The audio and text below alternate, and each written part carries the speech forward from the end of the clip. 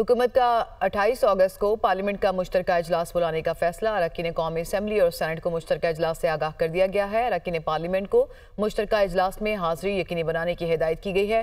कौमी असम्बली का अजलास छब्बीस अगस्त को बुलाने का फैसला किया गया है और इस सिलसिले में नोटिफिकेशन भी जारी कर दिया गया है। अहम खबर आपको दे रहे हैं कि हुकूमत ने अट्ठाईस अगस्त को पार्लियामेंट का मुश्तर अजलास बुलाने का फैसला किया है और इस सिलसिले में अरकिन कौमी और इसम्बली और सैनट को मुश्तर अजलास से मुतल आगाही दे दी गई है।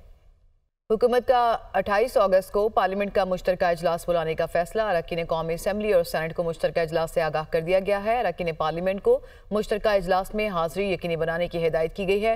कौमी असम्बली का अजलास 26 अगस्त को बुलाने का फैसला किया गया है और इस सिलसिले में नोटिफिकेशन भी जारी कर दिया गया है। अहम खबर आपको दे रहे हैं कि हुकूमत ने अट्ठाईस अगस्त को पार्लियामेंट का मुश्तर इजलास बुलाने का फैसला किया है और इस सिलसिले में अरकिन कौमी और असम्बली और सैनट को मुश्तर इजलास से मुतालिक आगाही दे दी गई है।